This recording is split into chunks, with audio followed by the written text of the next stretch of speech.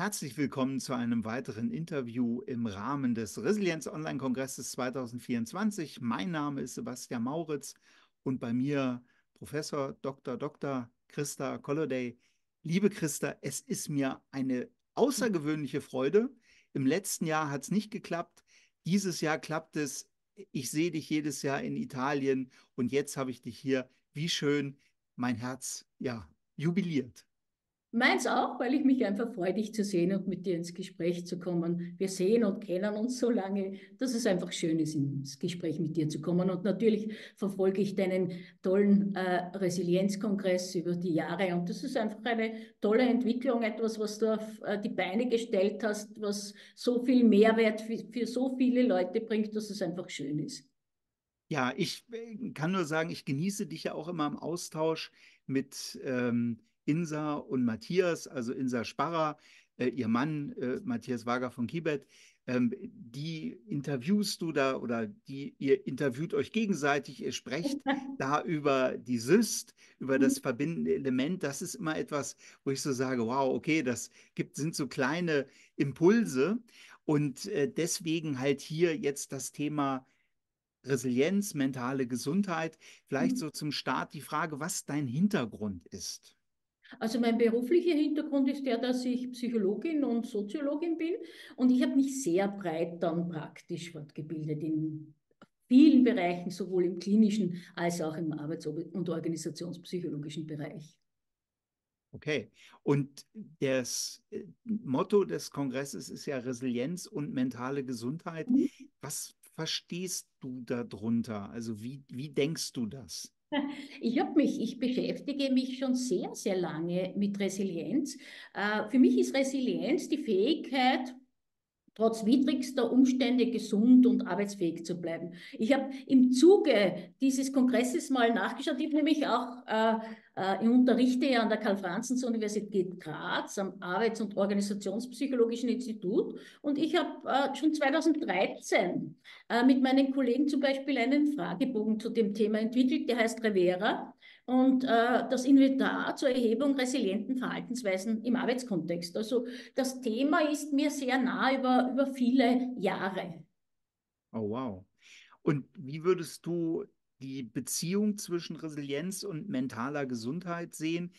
Gleich vorweg gesagt, mir ist schon klar, dass mentale Gesundheit und Gesundheit eine Differenzierung ist, die, wo man drüber streiten kann. Mir ist wichtig, die mentale Gesundheit nochmal nach vorne zu stellen, weil die ja oftmals so ein bisschen, ja, weiß ich nicht, stigmatisiert ist. Ähm, und mir hat dieser Unterschied macht für mich äh, einen relevanten Unterschied, deswegen auch dieser Titel sozusagen des Kongresses.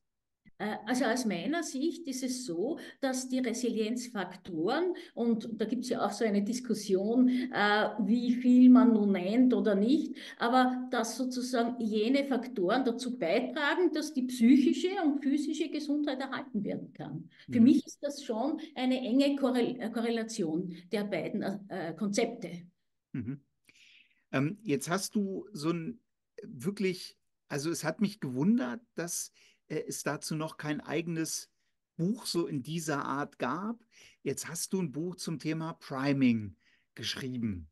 Und da habe ich mich sofort gefragt, wie bist du darauf gekommen? Weil Priming, also ich habe das irgendwann vor, vor 15 Jahren mal bei Gunter Schmidt gehört ähm, dann die Forschung da auch von Ellen Länger und diese ja. ganzen Dinge mir angeschaut und dachte, so ist sehr spannend, Bahnung. Dann kamen so die ganzen äh, hypnosystemischen und auch äh, Trance-Themen. Und dann hörte ich so Vera Birkenbiel, die von Erlebnisnetzwerken sprach. Wie kommt man darauf, zu diesem wichtigen, aber völlig ja zum Teil übersehenen Thema ein Buch zu schreiben? Also das kommt aus einem ganz anderen Kontext. Ich unterrichte ja seit zwei, mehr als zwei Jahrzehnten an der Karl-Franzens-Universität und ich unterrichte am Psychologischen Institut. Äh, zwar Schwerpunkt Arbeits- und Organisationspsychologie, aber ich unterrichte Psychologen. Und Psychologen haben den Fokus auf das Denken, Handeln und Fühlen des Menschen.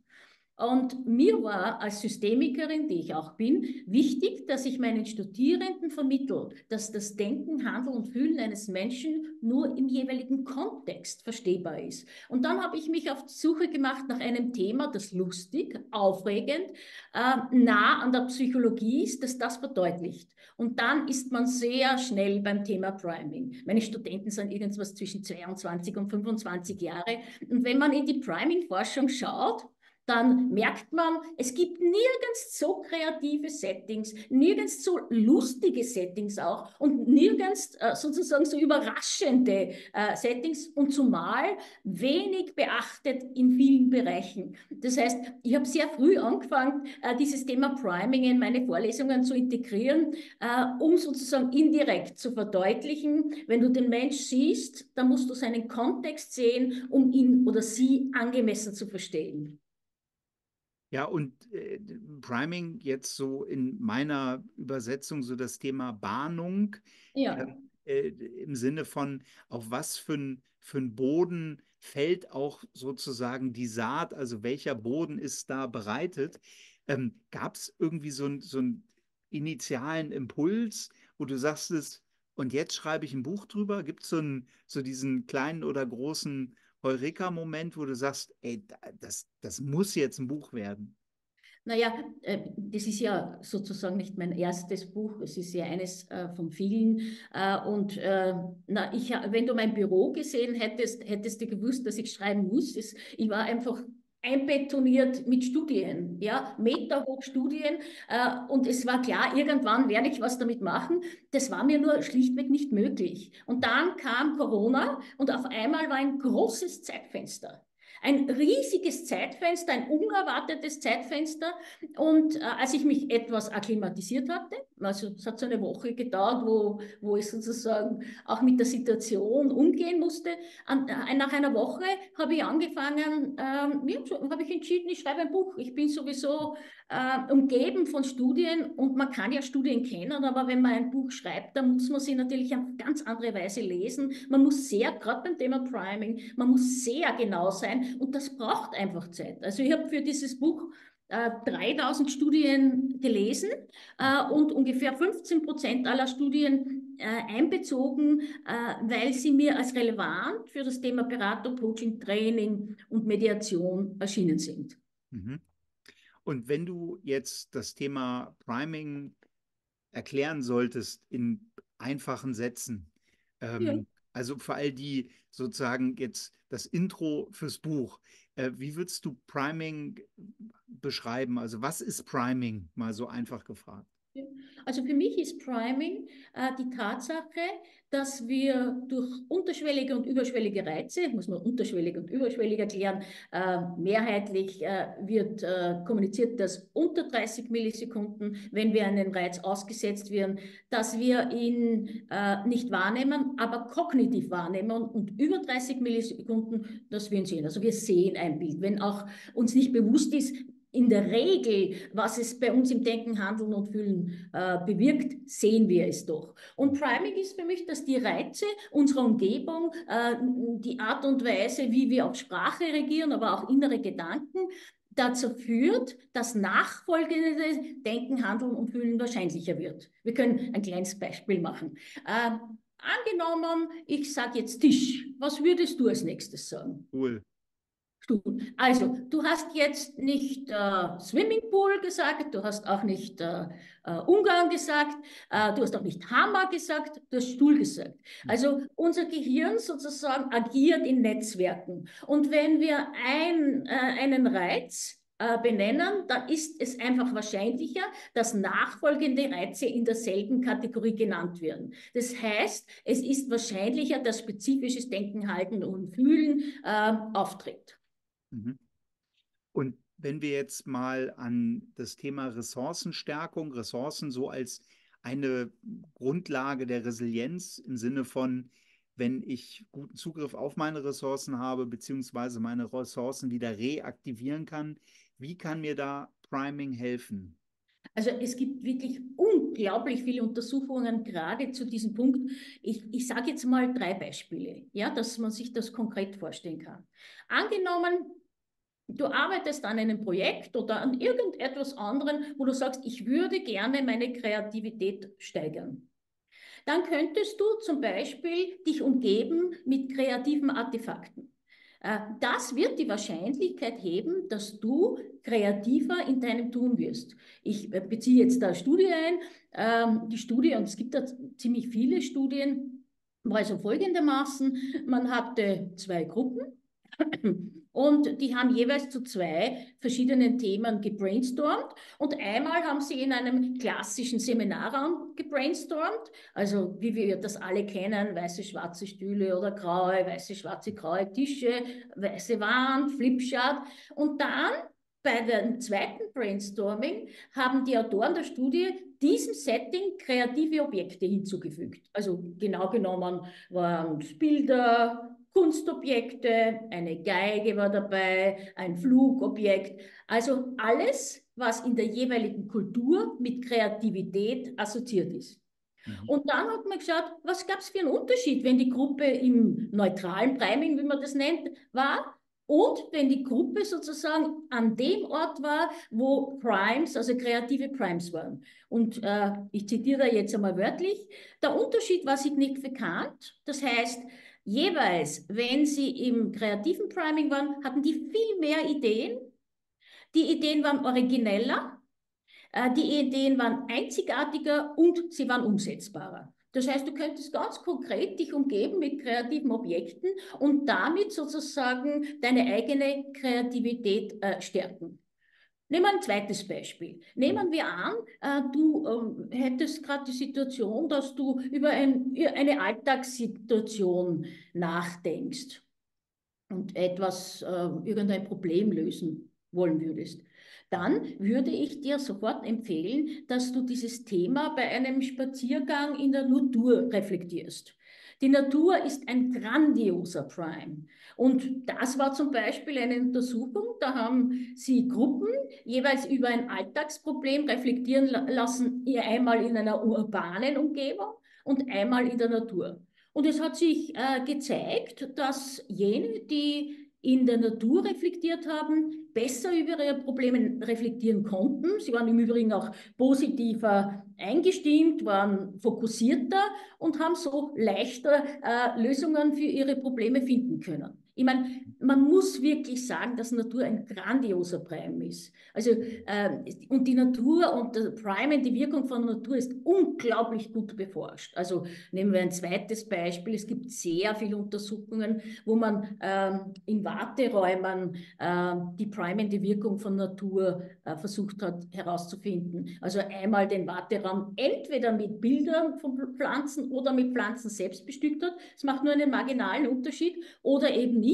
Und das hat sich gezeigt, dass die Leute ruhiger waren, sie waren weniger aggressiv, sie waren kooperativer. Also Natur ist ein wunderbarer Prime, um uns auch selbst zu primen. Ich, äh, ich habe ja äh, von der Corona-Zeit gesprochen. Ich weiß nicht, wie oft ich meinen Kunden und Kundinnen empfohlen habe, sich Blumen zu kaufen. Und ich das auch selbst mit noch größerer Freude tue, seitdem ich weiß, welche Primate Wirkung Blumen haben. Das ist gut beforscht. Blumen produzieren, äh, dass wir uns physisch entspannen und dass es psychisch eine Stimmungsaufhellung gibt. Ja, also da gibt es viele Studien und äh, wenn du zum Beispiel mit einem schwierigen Thema gerade beschäftigt sein würdest, würde ich sagen, mach einen Spaziergang in der Natur und denk dort über das Thema nach. Die Wahrscheinlichkeit, dass du da neue Ideen kreieren kannst, ist sehr hoch.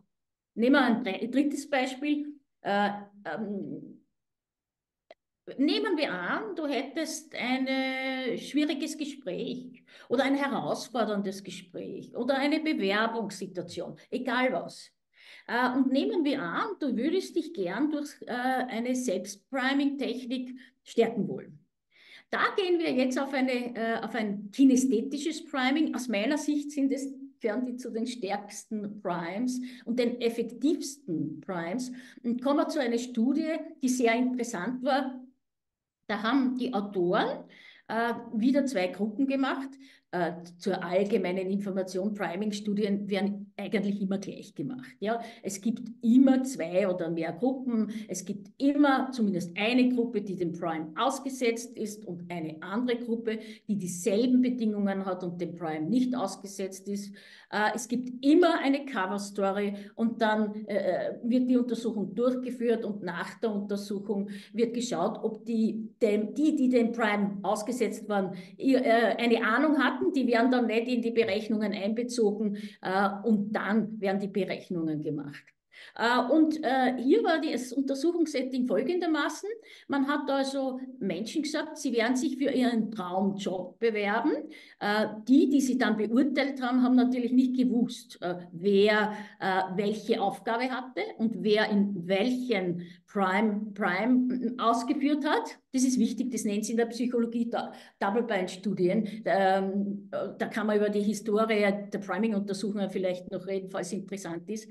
Und dann gab es eine Gruppe, denen hat man äh, High-Power-Posen, High-Power-Posen äh, äh, gegeben und hat gesagt, während du dich vorbereitest, nimm bitte äh, eine oder zwei dieser High-Power-Posen ein. Äh, und der anderen Gruppe hat man Low-Power-Posen gegeben. Und auch die sollten für ein paar Minuten diese Low-Power-Posen, sie hatten zwei bekommen, einnehmen. Und dann haben sich die beiden Gruppen vorgestellt. Wie gesagt, die äh, Bewerter und Bewerterinnen waren erfahrene Bewerter und Bewerterinnen, äh, wussten natürlich nichts über die Untersuchung. Und dann hat man geschaut, macht es einen Unterschied? Schon Korczybski hat gesagt, Information ist ein Unterschied, der einen Unterschied macht. Und äh, da kann ich sozusagen jetzt tatsächlich zitieren, jene, die in den High-Power-Busen waren, waren leistungsfähiger, sie fühlten sich selbstbewusster, Sie wurden als fesselnder und enthusiastischer wahrgenommen und sie wurden signifikant häufiger gewählt, dass sie den Job bekommen. Das ist sozusagen die Studie. Jetzt gibt es sozusagen eine Methode, die in der Beratung aus, aus meiner Sicht wahrscheinlich eine der effizientesten Beratungsinterventionen ist, wenn es darum geht, dass man in einer Situation ist, dass man vermeintlich glaubt, äh, keine Handlungsfähigkeit zu haben und die Handlungsfähigkeit erhöhen will, und das rekurriert eins zu eins auf diese Studie, nämlich die Problemlösungsskulptur. Manchmal heißt das Problemlösungs-Tai Chi, äh, eine von Gunter Schmidts wichtigsten Interventionen. Äh, und die funktioniert folgendermaßen. Ich, ich, ich schaue mal, ob ich das für dich aufmachen kann, äh, weil dann kann man tatsächlich wenn du möchtest, das auch zeigen. Äh, ich gebe mal da eine Freigabe äh, und zeige äh, das Bild. Äh, hier haben wir sozusagen High-Power-Posen und das ist ein, sind Low-Power-Posen. Mhm. Und jetzt gibt es eben diese Methode der Problemlösungskultur. Nehmen wir an, jemand sagt, ich habe da ein Gespräch mit meinem Chef und ich fühle mich einfach nicht gut, ich fühle mich dem gewachsen, ich will da eine Stärkung. Dann wäre die erste Pose eine Low-Power-Pose. Man würde sagen, nehmen, nehmen Sie doch mal an, Sie sind Künstler, Künstlerin und Werkzeug zugleich. Nehmen Sie eine Position ein, sozusagen Worst Case. Und dann würde man Submodalitäten abfragen. Ja, äh, was denken Sie in dieser Situation? Was sehen Sie? Was sehen Sie nicht? Äh, äh, wer ist da noch zugegen? Wie alt sind Sie? Das ist oft sehr interessant. Subjektives Alter. Menschen sind in, in der Low-Power-Pose meist sehr jung und es wird sofort psychologisch klar, dass sie die Situation schwer bewältigen, weil wenn ich zwölf bin, äh, habe ich, subjektiv habe ich eine andere Situation, als wenn ich mein richtiges Alter habe. Also man, äh, man schaut in den Submodalitäten, äh, wie diese äh, Low-Power-Pose ausformuliert ist. Und dann geht man an einen neuen Platz und sagt, und angenommen, Sie könnten bestmöglich mit der Situation umgehen. Bestmöglich. Und Sie würden wieder Künstlerin und Material zur selben Zeit sein. Wie würde diese Skulptur ausschauen? Das ist die High-Power-Pose. Und dann fragt man wieder Submodalitäten. Was sehen Sie, was sehen Sie nicht? Meist größerer Blick. Hm. Wo steht Ihr Gegenüber jetzt? Meist distanzierter, meist nicht so konfrontativ und meist auf derselben Höhe. Meistens ist in der Low-Power-Pose äh, sozusagen ein, ein Unterschied, sozusagen, dass die Leute hinaufschauen. Subjektives Alter, sie werden so alt, wie sie sind. Äh, und dann hat man sozusagen die High- und Low-Power-Pose. Und jetzt kommt sozusagen in der beraterischen Variante der Übergang. Äh, man geht wieder an eine neue Stelle und sagt, und jetzt darf ich Sie bitten, dass Sie die Low-Power-Pose einnehmen und ganz langsam in die High-Power-Pose übergehen. Und während Sie das tun, achten Sie, welche ideomotorische Reaktion sie am ehesten in die High-Power-Pose führt und man kann auch zuschauen, weil in der Regel sieht man das. Idiomotorik ist die Lehre der unbewussten Körperbewegungen das heißt, welche Körperbewegung bringt mich am schnellsten in die High-Power-Pose? Und das ist in der Regel Schultern hoch, das ist in der Regel ein Atemzug und manchmal sind es unwillkürliche Körperbewegungen. Und wenn die Leute das ähm, genug oft üben, sagen wir mal zwei, dreimal die Woche, ähm, dann wird allein die idiomotorische Geste, Schultern hoch, aber allein diese Geste wird sie in das ganze Haltung dieser Lösungskultur bringen, ohne dass sie irgendwie darüber nachdenken müssen. Äh, das wäre sozusagen eine Adaption ähm, dieser Untersuchung, die äh, sehr bekannt ist, in das Beratungssetting. Hm. Also da drei Beispiele und man könnte sie unzählig fortführen. Was ich sehr interessant finde, ist, dass es keinen richtigen Unterschied, also einen marginalen Unterschied, wie du gesagt hast, macht zwischen, ähm, also zwischen realen Pflanzen und Pflanzenbildern. Ja, ja, ja. Ich war skeptisch, wenn ich ganz ehrlich bin. Ich war skeptisch, weil äh, für mich als Wissenschaftlerin zählen eigentlich immer nur ein Überblick über Studien zu einem Thema, weil es kann sein, dass eine Studie völlig äh, äh, sozusagen etwas berichtet, was nicht im Mainstream der Ergebnisse ist. Ähm, und da bin ich immer noch skeptisch, weil es gibt sozusagen viele Untersuchungen, die einen marginalen Unterschied sehen und manche eben nicht. Deswegen bin ich da noch zurückhaltend. Äh, die Prime-Wirkung der Natur selbst ist unmissverständlich klar. Und, und, und, und auch gut bewiesen. Wobei ich mir dann auch vorstelle, dass wenn ich zum Beispiel jetzt dann so die Straßenschluchten von New York oder ja. Rennwägen oder ja. was man auch manchmal so groß sieht, so Maschinenteile, also technisiert. Ja. Ähm, oder habe ich auch mal gesehen, so, äh, so Kampfflugzeuge, die dann da so ja. Das hat aber ja auch bahnende Wirkung, ne? aber, aber, halt anders. Ja. Also äh, Bilder äh, sind äh, wissenschaftlich nachgewiesen äh, extrem effiziente Primes. Ich kann dir, wenn du willst, ein Bild einer Untersuchung äh, äh, zeigen, wo es darum geht und ging, Empathie und Kooperation zu primen. es ist das Bild, das ich auf allen Mediationsvereinbarungen habe, nebenbei bemerkt. Äh, das, ist, äh, das ist eine Untersuchung. Siehst du es? Nee, noch nicht. Ich habe es nicht geteilt. Das ist der Witz. Äh, gib mir eine Sekunde. Das ist zum Beispiel ich teile nochmal, äh, das ist zum Beispiel eine, eine Untersuchung eben, äh, wo man die Wirkung von Bildern untersucht hat. Ja? Äh, und die Versuchsteilnehmer haben irgendwelche Unterlagen, Vor Vortests ausge ausgefüllt und haben entweder dies auf einer Unterlage gemacht, die dies, das linke oder das rechte Bild äh, äh, gezeigt hat. Und, dann wurde ein Therapiegespräch durchgeführt. Und das Therapiegespräch war geskriptet, also äh, das war immer dasselbe die, äh, Therapiegespräch, immer dieselben Fragen. Und danach hat man sozusagen äh, geschaut, wie sympathisch fanden die Versuchspersonen äh, den Therapeuten, würden sie länger mit ihm verbringen wollen, also alle möglichen Aspekte. Und es war ganz klar, dass jene, die sozusagen das Bild sahen, wo zwei Menschen äh, in dieselbe Richtung schauten, äh, in, auch, in der auch ein Fernrohr war, dass die äh, die Beziehung als effektiver, wertschätzender und auch unterstützender erlebt haben. Also Bilder sind ganz, ganz effektive Primes und sind gut beforscht, extrem gut beforscht. Ja, also immer die Frage, guck, was du dir aufhängst und äh, am besten auch, wie du deinen Raum beduftest. Ja, genau. Du kannst ja schauen, ich habe hier ein Bild meines Lieblingsmalers, ist ein, ich glaube, eineinhalb Meter mal eineinhalb Meter groß.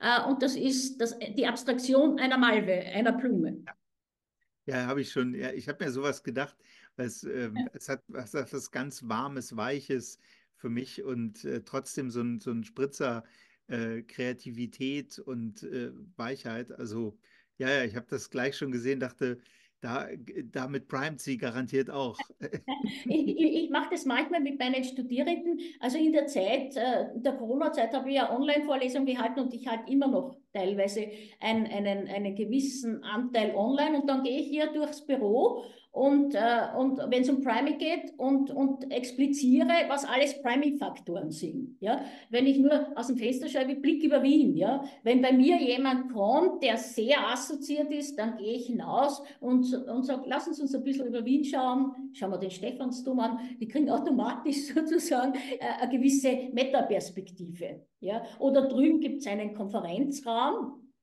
äh, und der ist bestückt aber dezent bestückt äh, mit kreativen Objekten. Ja? Oder überall hier stehen zum Beispiel Blumen. Also äh, es ist natürlich sozusagen hilfreich, dass man den eigenen Ort äh, gemäß des Ziels des Sujets, das man sozusagen äh, äh, anstrebt oder das man ausübt, äh, gestaltet.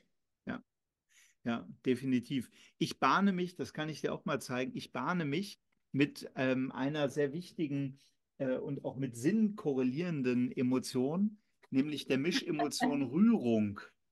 Ja. Und Rührung ist so dieses, ähm, so hilft mir bei der, bei der Suche nach Sinn.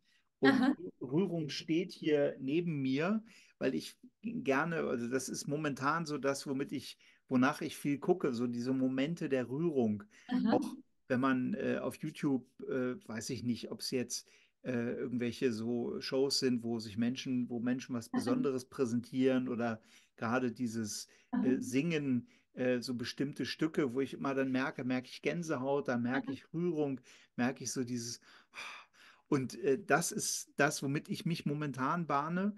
Und ich mache das immer emotionsbasiert mit den Emotionsaufstellern, die wir entwickelt haben. Ähm, und das ist sehr interessant. Also es verändert äh, deutlich so für mich entsprechend. Und was bewirkt es, wenn du dich mit Rührung bahnst? Was macht das für dich für einen Unterschied? Na, Sinn, äh, also Rührung als Hinweis für das Thema Sinn ähm, hilft mir bei so einer ganz feinen Ausrichtung, mhm. weil ähm, ich für mich in den letzten mhm. Jahren schon mich klar sozusagen meine grobe Richtung habe ich und ja. jetzt schaue ich noch mal auf so auf die Feinjustierung. Mhm, mhm. Und äh, da muss ich sagen, das ist ja auch eine, eine selbsttranszendente Emotion. Ähm, und das hilft mir entsprechend, da, da hinzukommen. Ich habe schon das Gefühl, dass das, also vielleicht noch ein paar Wochen oder so, und dann ist wieder eine andere Emotion dran. Das äh, gucke ich dann. Manchmal wechsle ich auch mal für so einen Tag anders. Ähm, mhm. kommt immer ein bisschen drauf an. In meinem anderen Arbeitszimmer stehen, steht Interesse Aha. und ähm, Ehrfurcht oder Staunen. Ähm, das sind ja so zwei Wissenschaftsemotionen, also so Interesse, wo ich dann meine neuen Sachen erarbeite und das Staunen, wo ich mal denke, oh, äh, toll, was ich alles noch nicht weiß und ähm, auch toll, was es an Studien gibt, an neuen Erkenntnissen. Und das habe ich eher da und hier habe ich eher so dieses, so gucken, wo im Alltag begegnen mir die Momente der Rührung. Ja, ja. Mhm. Das ist so, wenn man dann die Emotion kennt und weiß, was dahinter steckt für ein Bedürfnis, hilft mir das so ganz gut. Äh, Zu wissen, was dir wichtig ist. Oder, äh, ja. Ja, ja. Genau. Das ist so das Ziel davon. Mhm, schön. Wenn das alles so wichtig ist und so gut ist, ähm, ja. dann frage ich mich, ähm, warum glaubst du, dass Priming da momentan noch relativ wenig beachtet wird, gerade so im Bereich Gesundheit, Gesundheitsförderung. Ressourcenstärkung?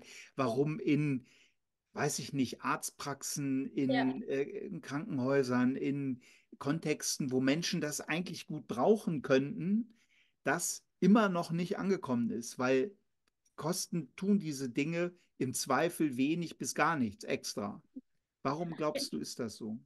Also ich persönlich finde ich das auch erstaunlich, äh, um offen zu sein, weil es wirklich Tausende von Studien gibt.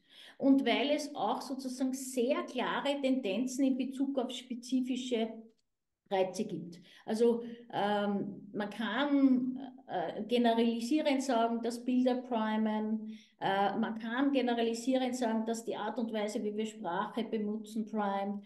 Äh, man kann äh, die Naturelemente generalisierend sagen. Es gibt einen Prime, der äh, glaube ich, äh, beziehungsweise wissenschaftlich gesehen nicht so leicht generalisierbar ist, ist der Geruch ja, weil äh, in unterschiedlichen Kulturen Geruch, Gerüche unterschiedlich wahrgenommen werden, äh, weil auch man individuell Gerüche unterschiedlich wahrnimmt, je nachdem, ob man in Stress ist oder nicht, weil Geschlechter Gerüche unterschiedlich wahrnehmen äh, oder und, und dementsprechend ist bei Geruch eher die Empfehlung, äh, es individuell, Gerüche individuell zu nutzen äh, oder nach einer individuellen Exploration. Äh, ich finde es selbst sehr erstaunlich. Äh, ich nehme wahr, dass es manche Bereiche gibt, die sehr gut differenziert sind. Also in unserer Zunft ist Sprache äh, und die primende Wirkung der Sprache durchaus eine relevante Größe, aber andere Faktoren sind fast wie ein blinder Fleck. Ähm, und es mag damit zu tun haben, dass es zwar unglaublich viele Studien gibt, es wirklich unglaublich viele Studienergebnisse, und ich schreibe gerade an einem neuen Buch zum Thema Priming, ähm, aber dass dieser Transfer von der Wissenschaft in den Alltag schwierig gelingt. Ja, ähm, das mag etwas damit zu tun haben, wie Wissenschaft aufbereitet wird, wie Wissenschaft zugänglich ist. Äh, und das heißt, dass es einfach mehr populärwissenschaftliche Bücher braucht, die quasi so diese Brücke äh, in den Alltag äh, äh hineinbringen. Aber es ist erstaunlich. Es ist auch erstaunlich, dass wenn ich sozusagen über meine äh, eigenen Ausbildungen äh, resoniere, war das Thema Priming in, kein, in keiner Ausbildung sagen wir mal, in, zu einem geringen äh, Ausmaß doch, aber in, in den Mehrheit ist es nicht einmal benannt worden. Ja? Und das ist natürlich wahnsinnig schade, weil äh, das aus meiner Sicht eine ethische Verpflichtung ist. Ja. Äh, weil nur, wenn ich äh, ein Wissen um die Priming-Faktoren habe, kann ich entscheiden, ob ich äh, sozusagen hier eine Modifikation machen will oder nicht. Ich gebe dir mal ein Beispiel, das, ähm, das mich sehr, das ist mich äh, sehr äh, auch aufgerüttelt hat. Äh, ich, wie gesagt, ich unterrichte so circa 23 Jahre äh, an der Uni und, äh, und habe eine Vorlesung, die ich auch selbst etabliert habe, äh, Konfliktmanagement und Mediation. Und in den ersten Jahren habe ich einen sehr interessanten Film gezeigt über Mediation und die Mediationsphasen.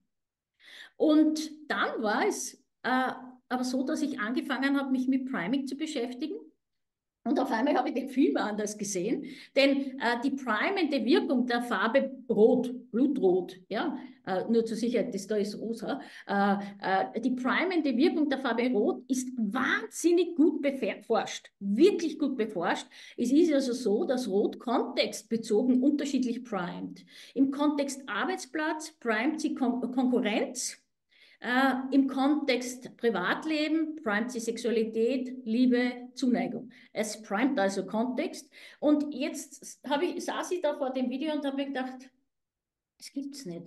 Die sitzen da rund um einen großen roten Teppich. Ja? Und was heißt das? Auf einer intellektuellen, mediativen Ebene äh, schaue ich, dass äh, die Parteien so gut wie möglich eine für sie stimmige Lösung finden. Auf einer bewussten Ebene. Aber auf einer unbewussten Ebene produziere ich ganz genau das Gegenteil. Ich triggere Aggression.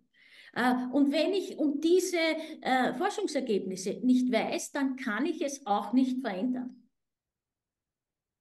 Und das ist gerade total bemerkenswert, weil ähm, natürlich äh, zum Teil auch gar nicht, also zum Teil ist das Wissen nicht da, dann werden aber Entscheidungen ja nicht also aus Priming-Sicht funktional getroffen, sondern ähm, dann sagt man sich sowas wie, okay, das passt halt gut, ist vielleicht Logofarbe oder ist im Raumkonzept. Wir gestalten mhm. unsere Räume halt mit roten Teppichen, mhm. Ähm, mhm. sodass auch eine ganze, ich nenne es mal die ganze Zunft der ja. ArchitektInnen ähm, ja. beziehungsweise der Menschen, die mit sowas zu tun haben.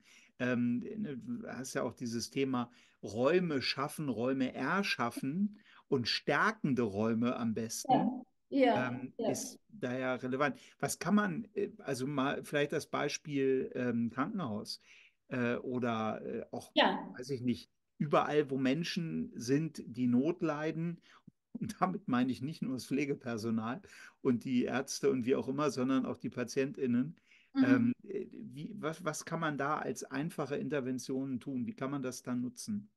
Ich würde äh, an der Stelle tatsächlich äh, das Ergebnis einer Studie, die Zusammenfassung einer Studie, die im Bezug Krankenhaus durchgeführt wurde, äh, einfach den letzten Satz zitieren. Äh, die Haupterkenntnisse der Studien waren, dass die ästhetische Dimension eine Quelle für Gesundheit und Wohlbefinden und dass es eine ästhetische Verpflichtung in der Pflege und in der Pflegewissenschaft gibt, diesen Bereich einzubeziehen. Also äh, es gibt wirklich, wirklich viele, viele Untersuchungen über äh, die Innenraumgestaltung in Krankenhäusern. Ähm, die Ergebnisse sind relativ einfach was die, äh, und, und eindeutig, was die Farbgestaltung, was die Raumgestaltung, was äh, äh, die Gestaltung mit anderen Utensilien betrifft. Es wird halt äh, wenig einbezogen. Aber ehrlich gesagt finde ich dann auch einen anderen Aspekt wirklich entscheidend. Ja? Wir alle sind ja auch Patienten und Patientinnen gewesen. Wir äh, mit uns allen haben Ärzte geredet. Äh, die Art und Weise, wie Sprache gebraucht wird, ist elementar. Ist elementar. Äh, Im Krankenhaus, in der Beratung und im, im alltäglichen Leben. Und, ähm, und Priming produziert, dass wir sensibler werden, wie wir sozusagen auch Sprache benutzen. Und da ist ein wichtiges Feld auch im äh, Krankenhaus, wie äh, Ärzte und Ärztinnen mit Patienten und Patientinnen reden. Denn äh, die Priming, die Wirkung der Sprache ist sozusagen wahnsinnig gut beforscht. Also vielleicht eine Untersuchung, äh, die, die, die sehr berühmt ist. Man hat äh, äh, man hat zwei Gruppen äh, ein, äh, einen Text vorgelegt von einer fiktiven Stadt, die Addison geheißen hat. Und es gab, und wo die Kriminalität gestiegen ist. Und es gab in Wirklichkeit nur zwei Unterschiede an zwei Stellen. und zwar in einer Beschreibung wurde die Kriminalität als Virus bezeichnet, die die Stadt infiziert und in der anderen Gruppe als äh, Bestie, die die äh, Stadt heimsucht. Äh, und die Auswirkungen von zwei Wörtern in einem ganzen Text waren extrem gravierend, denn die, denen die Metapher des Virus angeboten worden, waren für Rehabilitationsmaßnahmen signifikant häufiger und die, denen die Metapher der Bestie angeboten wurde, waren signifikant häufiger äh, für Gefängnis. Aufenthalte. Ja? Und, äh, und, und das zeigt uns, wie wenig Sprachelemente welche große Auswirkungen haben. Und ähm, diese Studie ist ja, da gab es mehrere Studien, was sich auch gezeigt hat und was ich sehr interessant fand, ähm, dass äh, wann man eine Metapher einbringt, entscheidend ist, wie die nachfolgenden Informationen gewertet werden. Je früher die äh, Metapher eingebracht wird, desto selektiver werden alle anderen Informationen wahrgenommen. Man hat mhm. diesen Gruppen dann sozusagen realistisch Zahlen, Daten und Fakten vorgelegt. Sie wurden nur äh, nicht mehr äh, sozusagen realistisch eingeschätzt, sondern sie wurden der Metapher, die denen angeboten wurde, untergeordnet. Und das ist im alltäglichen Sprachgebrauch, im Sprachgebrauch mit Kunden und Kundinnen, mit Patienten und Patientinnen, im Sprachgebrauch mit uns selber, in der Beratung hocheffizient. Ja? Ich würde niemals zu einem Kunden sagen, Sie haben ein einen Konflikt. Bis mhm. jetzt haben sie einen Konflikt. Noch haben sie den Konflikt. Äh, oder ich würde niemals sagen, ähm, ich darf Sie herzlich willkommen heißen zu dieser Mediation. Mediation ist ein Streitschlichtungsverfahren mit dem Ziel, eine konsensuale Lösung zu erzielen. Niemals. Ich würde sagen, ich darf Sie sehr herzlich begrüßen, begrüßen. Die Tatsache, dass Sie hier sind, ist im Grunde schon die halbe Miete. Es ist schon der halbe Weg zur Lösung, weil Sie entschieden haben, gemeinsam hier am runden Tisch miteinander eine gute Lösung zu finden. Eine Lösung, die für Sie beide stimmig sein wird und wo Sie beide gut äh, miteinander äh, kooperieren können oder mit Ihrem Kind umgehen können. die Art, wie wir Sprache verwenden, ist so entscheidend und ist sozusagen, wenn wir uns dessen bewusst sind, jetzt ohne großen Aufwand überall umzusetzen und umsetzbar. Äh, und das, das scheint mir äh, neben den, den Raumfaktoren, ja, die, die gut nachgewiesen sind, äh, ein, ein zentrales Element auch äh, im Umgang mit Patienten und Patientinnen zu sein. Ja, also finde ich sehr spannend. Ähm, da fallen mir zwei Beispiele ein. Ähm, einmal die ähm, Dame, die äh, seit Jahren, muss schon fast Jahrzehnten sagen, meine Zahnpflege macht, also Aha. sagen Zahnreinigung. Ähm, und die hat irgendwann mal ähm, gesagt, ähm, äh, Achtung, jetzt schmeckt es ein bisschen eklig. Also Stopp, sag mal bitte, also sie hatte vorher immer nichts gesagt, hat dieses, ja. was danach, diese Lösung reingemacht, dieser Stopp, sag bitte nochmal, jetzt merkst du gleich, so schmeckt Gesundheit. Sie mich so an hat kurz überlegt, hat gesagt, ja, ne, Kunde ist König, so. Dachte, oh, jetzt kannst du gleich Gesundheit schmecken. Reingemacht, für mich völlig anders. Ja. Und ähm, er auch äh, Bekannter von mir, ähm, sozusagen entsprechend ähm, eine Infusion gelegt, so jetzt stärkend im Herbst mache ich das meistens oder ab und zu mal so Vitamin C, also einfach Immunsystem stärkend. Und dann sagt er, Achtung, jetzt piekst es gleich ja, oder jetzt tut es gleich ein bisschen weh. Habe ich gesagt, stopp. Sag bitte, jetzt merkst du gleich, dass die Verbindung zwischen der Gesundheit und deinem Körper hergestellt wird. Mhm. Guckt er mich so an, sagte, äh, was ist das? Habe ich gesagt, das, mein Lieber, ist die Nichtaktivierung meiner mhm. Schmerznetzwerke. Also tu das bitte, sagt er, ja, ich verbinde jetzt Gesundheit mit deinem Körper. Klack rein auch wieder völlig anders. Und da dachte ich so, ähm, also eigentlich wie einfach es ist, ja. mit Sprache sozusagen ja. etwas zu verstärken ja. oder ein anderes Netzwerk zu aktivieren. Diese Schmerzforschungsaspekte finde ich ja auch mega spannend. Und es gibt unglaublich viele Untersuchungen zur primenden Wirkung von schmerzassoziierten Wörtern. Und es ist wissenschaftlich gut nachgewiesen, dass sie produzieren, dass Menschen den Schmerz, wenn sie den in einer leben, stärker erleben. Ja, das ist gut nachgewiesen. Und, ja. und die Auseinandersetzung mit Priming produziert letztendlich eine Bewusstwerdung, eine Sensibilisierung, wie wir selbst mit uns reden und wie andere reden. Und das ist wahrscheinlich die einfachste Form zu primen. Äh, die kostengünstigste äh, und die, die gerade im medizinischen Bereich einfach hocheffizient äh, ist. Wenn man jetzt, ähm, also wir haben ja jetzt viel über Priming allgemein gesprochen, du ähm, bist ja jetzt keine Priming-Forscherin, also vielleicht auch Priming-Forscherin, aber sag ich mal, kennengelernt habe ich dich aus dem Bereich Mediation ja. und Konfliktmanagement. Da hast du ja auch viel ja. zu geschrieben ja. und ja. meiste habe ich über den Bereich geschrieben. Genau.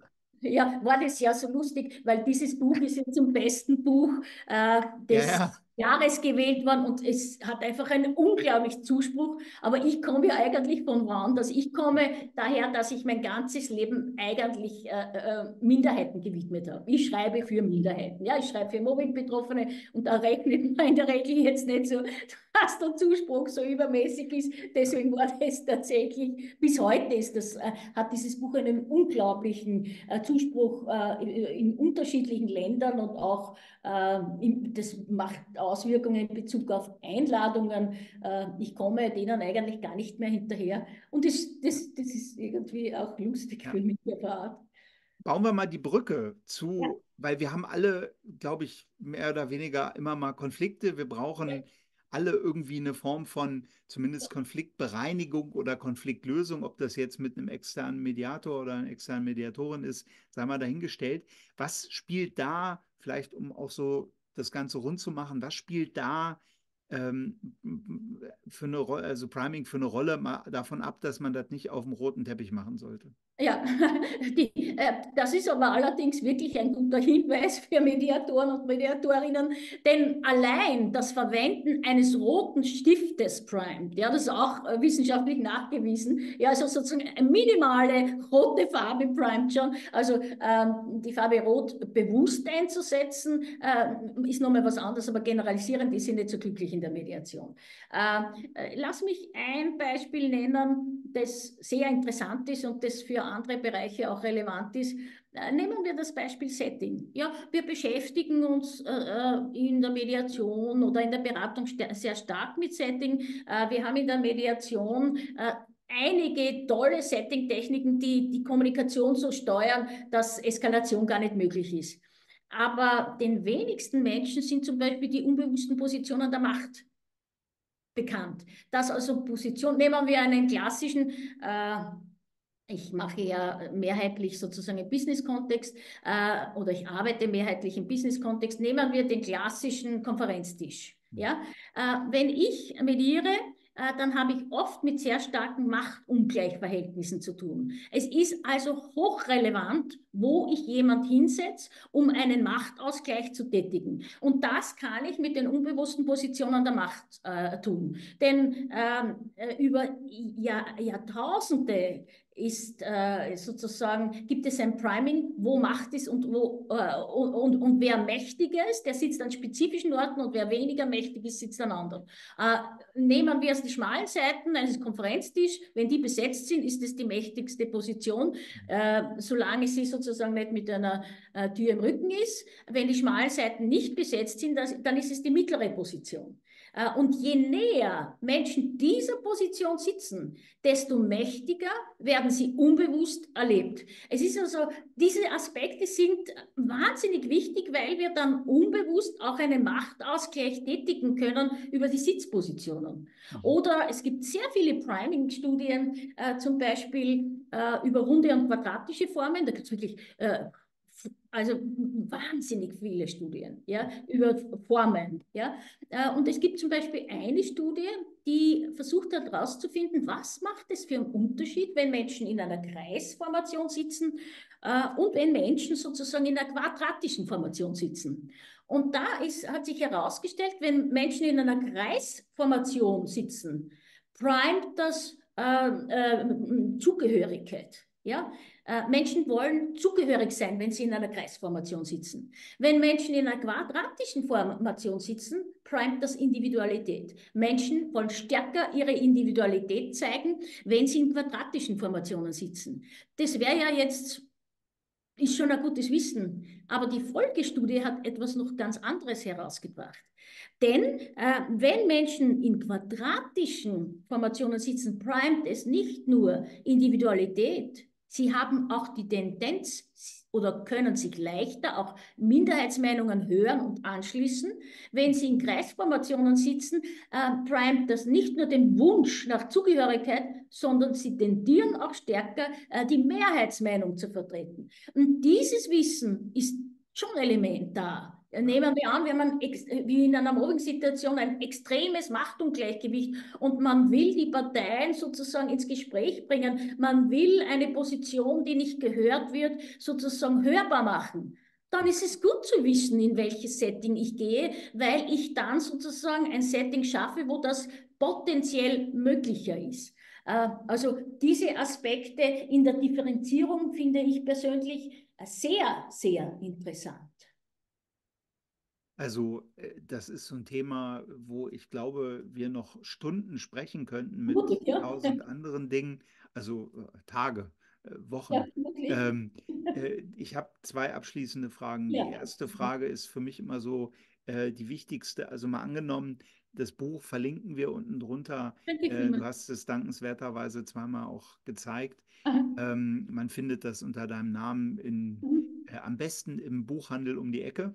Äh, ja. damit, ist, damit ist nicht die Amazon-App gemeint. Ja. Ganz ähm, Meinung. Am besten im Verlag, in dem es produziert wurde, aber auch im Buchhandel um die Ecke ist es genau. wunderbar, wenn wir ja. äh, diese wunderbaren Menschen, die uns Bücher näher bringen, äh, unterstützen. Genau.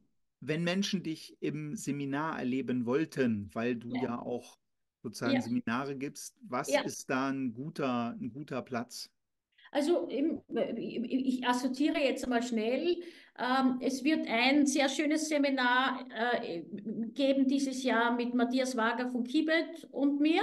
Er wird die philosophischen Aspekte des Primings darstellen, ich die psychologischen Aspekte.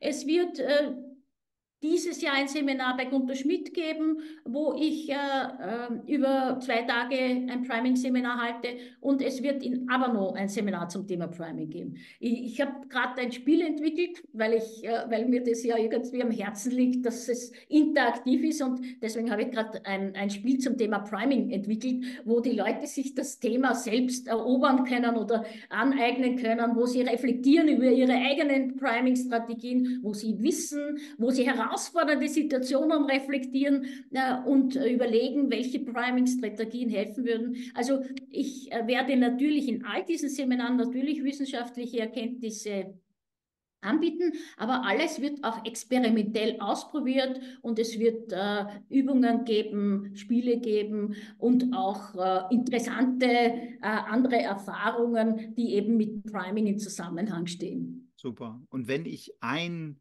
Priming so in den Alltag jetzt mitnehmen wollte, so also ein bewusstes Priming. Also wir primen uns ja ohnehin den ganzen Tag.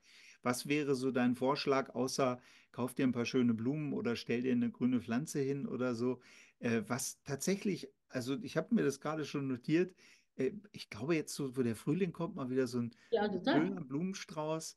Ja, was wäre noch so ein, vielleicht so ein, so ein, so ein tägliches Priming ja. äh, für den Start in den Tag? Ähm, ich glaube, ich würde, also wenn ich mich nicht selbst beobachten würde und schauen würde, wie rede ich mit mir, ähm, dann würde ich vielleicht mir einen, einen wohltuenden, positiv konnotierten Morgensatz überlegen, zum Beispiel.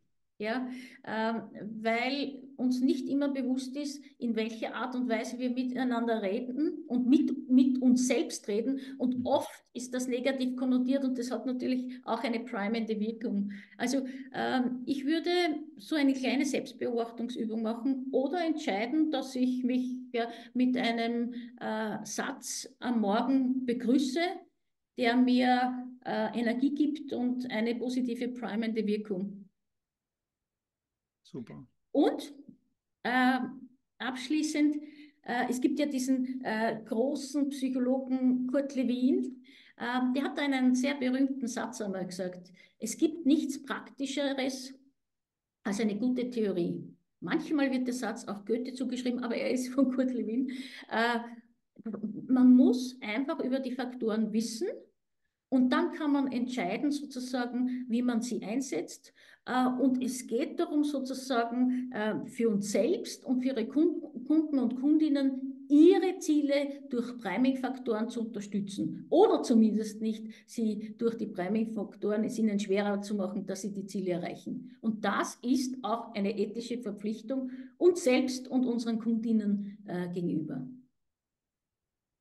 Da bleibt mir nichts hinzuzufügen, liebe Christa. Es war mir ein wirkliches Vergnügen und danke für dein breites Wissen, was du hier geteilt hast.